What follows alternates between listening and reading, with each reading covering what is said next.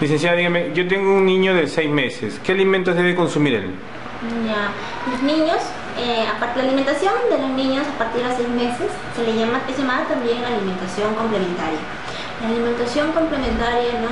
es aquella que además de brindarle lactancia materna, ¿no? E introducirle nuevos alimentos. Ahora, eh, vamos a explicar un poco a partir de las edades, ¿no? De 6 a 8 meses el niño va a empezar, vamos a empezar a brindar alimentos en forma de purés o papillas.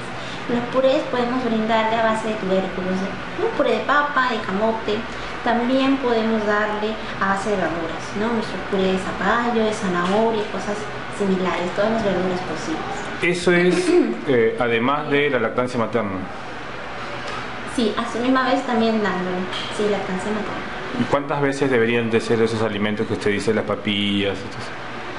Ya, las papillas podemos darle eh, a, la, hora del almuerzo y a, la noche también, ¿no? Y después de los ocho meses...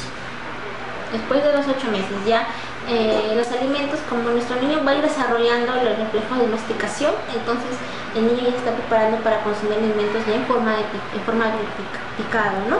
Eh, va a ir masticando poco a poco, ¿no? Los alimentos, entonces eh, puede ser, por ejemplo, ¿no? Este, las carnes, carne de pollo, el hígado de pollo, ¿no? Pescado, pero este, bien desmenuzado, en forma desmenuzada, ¿no? También a los cereales, también maicena, el trigo, el maíz, también podemos ir dando, ¿no? Eh, ya luego, a partir del año, ya el niño como ya va a desarrollar, tiene bien desarrollado su reflejo de masticación, entonces eh, es necesario ya que él puede ya consumir alimentos de la olla familiar. O sea, él puede alimentarse también de lo que nosotros ya los adultos nos alimentamos.